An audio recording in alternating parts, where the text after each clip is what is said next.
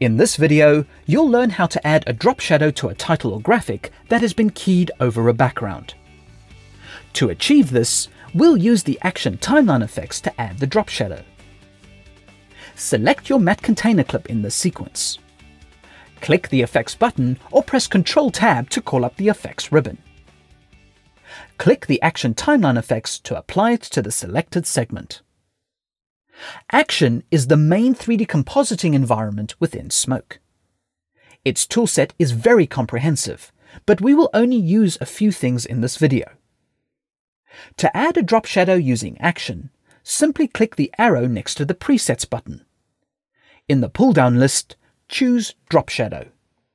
You will get a confirmation window. This informs you that Smoke will load an action setup, but anything you might have done previously will be lost. Click Confirm to load the Drop Shadow preset. You will notice that the background has gone black. This is because the Action Timeline effects and the Comp Timeline effects are both trying to composite the matte container at the same time. This is actually a setting in Action that is enabled in the Drop Shadow preset. You could disable the setting in the Action Timeline effects. However, since Action is providing the drop shadow, you might as well let it do the compositing instead of the comp timeline effects. So by turning off the comp timeline effects, Action becomes responsible for keying the title over the background as well as providing the drop shadow. If you need to tweak the drop shadow, you will go into the Action editor. Select the Action timeline effects in the effects pipeline. Click the Editor button and you'll enter in action. There are only three components I want you to know for the drop shadow. Firstly, to adjust the shadow softness, make sure you're in the Media menu.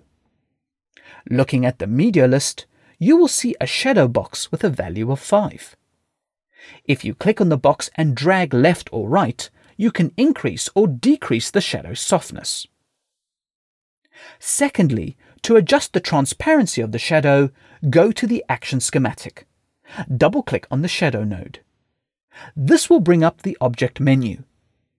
On the right, you will see Shadow Controls. Here you can adjust the shadow transparency by clicking and dragging on the slider.